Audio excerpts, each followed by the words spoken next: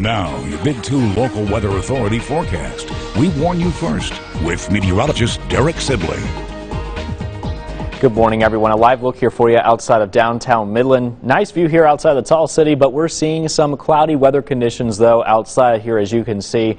Tower cam lenses picking up those uh, clouds here just a little bit. They are moving from the north to the south, so the, we're going to see a little bit more before they begin to clear out. But after they do clear, we are looking at triple-digit temperatures beginning to influence our weather here this afternoon, which is going to make things a little bit uncomfortable, unfortunately, outside. Overall, we're just very dry, too, so do expect this over the next several days. We'll talk about the reason why coming up in just a little bit. Again, those clouds moving from north to south. We're seeing some showers, very light though, across parts of Eddy County near Artesia. Those are moving with the clouds as, as well off towards the south. We also have a few showers that are off towards the western basin and areas of the northwest basin like Andrews County and also down near Kermit. We're looking at a couple of light showers that continue to track to the south but also dissipate at the same time.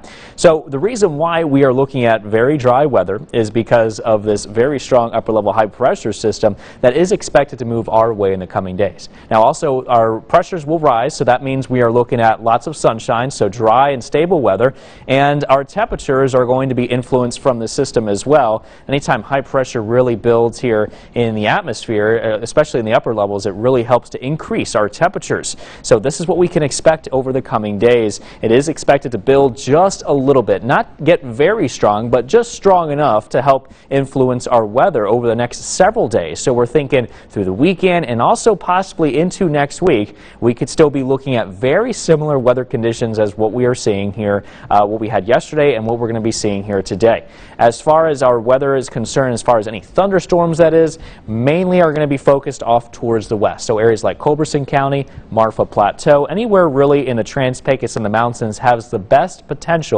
to see any thunderstorms developing. But you can see just how dry and clear the Permian Basin is this afternoon through the evening as well. Heading into tomorrow, we can expect more of the same. Any storms that could develop will be focused along the higher terrain, not so much though here across the Permian Basin of Odessa. Odessa and in Midland. Here's a look at your day planner this afternoon. Temperatures are warming up to around 88 degrees by noon with a high expected to be roughly 101 degrees. That's when we'll see most of the peak here of the daytime heating because of that sunshine that's going to be in full swing. Uh, a couple of clouds as we head into this evening with temperatures still pretty warm into those low to mid 90s. Everywhere else this afternoon is expected to warm up pretty substantially too, not just Odessa Midland. You can see triple digits between 104, 105 105 in Pecos and 103 potentially today in and around Fort Stockton. But as we head into tonight, we drop down into the 70s for most of us under mostly clear skies and those winds out of the south mainly at around 10 to 20 miles per hour. And over the next 10 days, we talked about that high pressure system that's really going to be influencing our weather. So that's why nothing really changes here over the next several days here across much of Midland, Odessa and West Texas and Southeast New Mexico in general. Highs will be around 100 to 102 today today and tomorrow.